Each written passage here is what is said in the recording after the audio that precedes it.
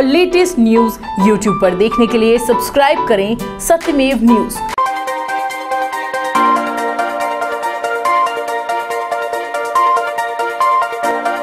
नमस्कार, सत्यमेव न्यूज़ में आपका स्वागत और मैं हूँ आपके साथ अंकित माथुर।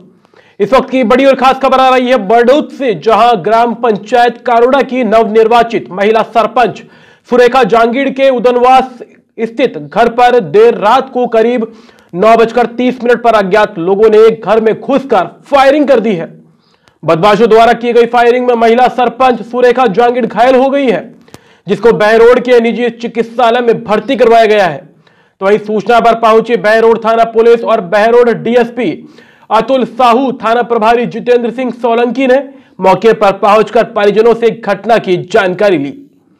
बाद में पुलिस अधिकारियों ने बहरोड चिकित्सालय में पहुंचकर घटना में घायल महिला सरपंच सुरेखा जांगीड़ का बयान लिया।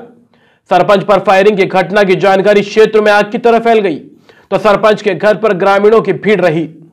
सुरक्षा की दृष्टि से पुलिस प्रशासन ने सरपंच के घर पर चार जवान तैनात कर दिए गए हैं।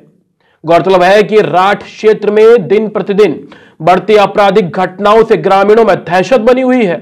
तो वहीं ग्रामीणों ने बढ़ते अपराधों पर अंकुश लगाने के लिए बरडोद में पुलिस चौकी खोलने की भी मांग की है। खुड़खड़ाए और दोपहर बोला कि खोलो खोलो। हम सोचे कि पापा जी बोल रहे हैं। फिर मनोज जी ने कुआड़ खोल दिया, मेरे पति ने।